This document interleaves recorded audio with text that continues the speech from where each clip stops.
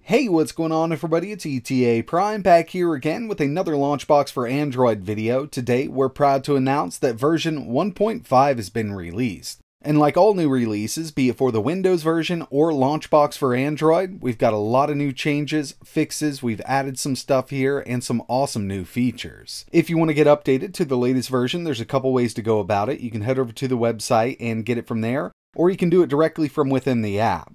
We're going to go up to the top left hand corner, options, and you want to make sure that check for updates on startup is enabled.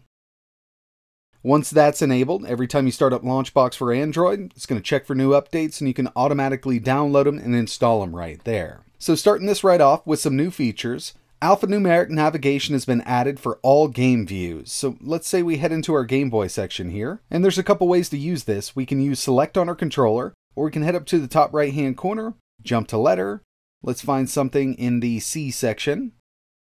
There you have it. So it makes it really easy to navigate all of your ROMs, especially if you have a big set uh, like Game Boy or NES. Tons of games in there, so having that alphanumeric navigation does come in really handy. But the best part about this is it works from a controller. So it really depends on the theme, but either you press select, it'll bring up the index menu like you see here, or you can use your left analog stick. Now I will mention that if you're using the Xbox One controller, you may need to update the firmware in order for select to work. I ran into an issue with an Xbox Elite controller that was on really old firmware. But it's been tested on a bunch of different controllers and it's working out really well. Plus, the index menu is themable. Here's a look at another theme. This is the grid, boxes grid. And finally, we've got unified light. Just another great addition to Launchbox for Android. With version 1.5, we can quickly mark games as completed, incomplete, or broken, or working. We'll head over here to my N64 section, and let's just do Cruisin' USA. If we tap it again, you can see we now have a section Mark as completed, Mark as broken, and we can also favorite the game, which will give us a little star. And that's been there for a little while, but I just wanted to make sure everybody knew about it. Something I personally like using, and we can actually sort by favorited. With this new release of Launchbox for Android, launching screens are now fully themable, so we will be seeing some new launching screens coming up from the community. But right now I want to show you what we got and what it entails. It's actually pretty easy to swap out. So if we head over to any platform and any theme view and access our view settings from the menu, we have a new option, Launching View. You can see I've got a few options here, Alicia, Box Art, and Unified Light. We're going to start out with Box Art. This is just what the stock one's going to look like. So we'll head back We'll start up a game. Let's go with Sonic 2. And I've just froze this section here because it does go by pretty quickly. But during the loading section, when you're starting up a game using basically any emulator, what you're going to get is your launching screen. Just gives you a little bit of eye candy. This is the stock box art launching screen. We're going to head back into the menu and we'll swap it out to the Unified Light startup. This is one of my favorites. And as you can see, we've got a new launching screen, and these are fully themable, so as soon as the developers start rolling on these Android themes, we're going to see some really awesome stuff here. But this is an awesome new feature to have with Launchbox for Android. But I gotta say, my favorite new addition here with 1.5 is support for MS-DOS and Game & Watch using RetroArch. So we'll start out here with MS-DOS, and I've got a few games installed. We'll just go with, let's do Sky Roads. We'll go ahead and play. Now I'm using RetroArch and the DOSBox Pure core, but you can use the other cores if you'd like to. Personally, I just find it a lot easier to use Pure, especially on Android.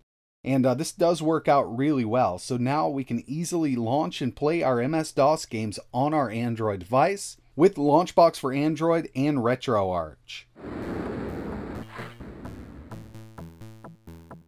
It's actually pretty awesome to have this up and running on Android through Launchbox for Android, and I'm just using the on-screen controls right now, but it's fully compatible with a controller.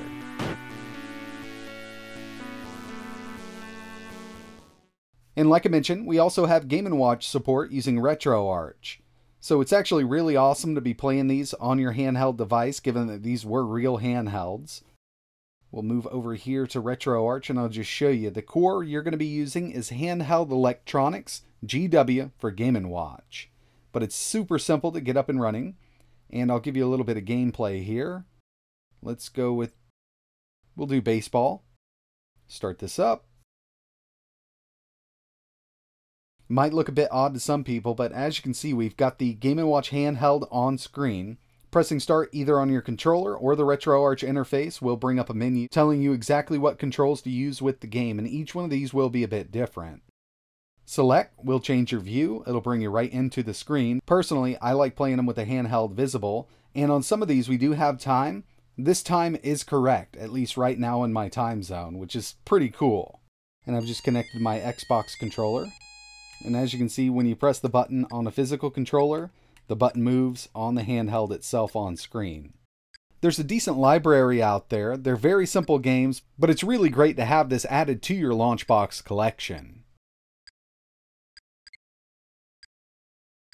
And with the additional compatibility of MS-DOS and Game & Watch with RetroArch, we've also added compatibility with 10 more emulators for Android 11 and above. In the past, they were working with older versions of Android, but Android 11 did a lot of changes and these emulators stopped working. But we've got 10 of them up and running right now. We've got 26EMU, COL-EM, COL EM Plus, GBA.EMU, GBC.EMU, INES, Master Gear, MD.EMU, NES.EMU, and PCE.EMU. So if you're into using those standalone emulators, they're now fully compatible with Launchbox for Android. But yeah, lots of great updates to 1.5. If you're interested in checking out the full change log, link for that will be in the description. There's actually a lot of great stuff with 1.5 for theme developers. So if you've been thinking about developing Launchbox for Android themes, then definitely now's your chance. But that's going to wrap it up for this one. We really appreciate you watching. Keep an eye on the channel and the Launchbox forums because we have a lot more coming. And like always,